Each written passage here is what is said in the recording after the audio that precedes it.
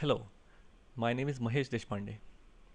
In this video, we are going to see how to download and install Blender.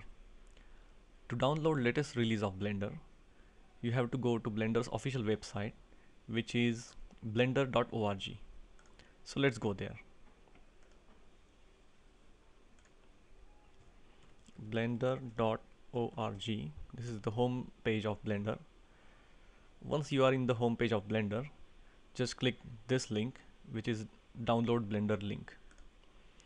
Here you will find blender's uh, latest stable release available.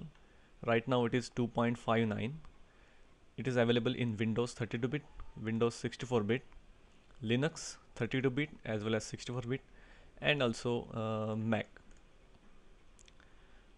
For demonstration I am going to select Windows 32 bit version of it here you will find two different options. One is this 2.59 installer and this one is 2.59 zip archive.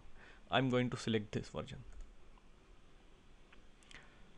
Once you click this link the download should start automatically.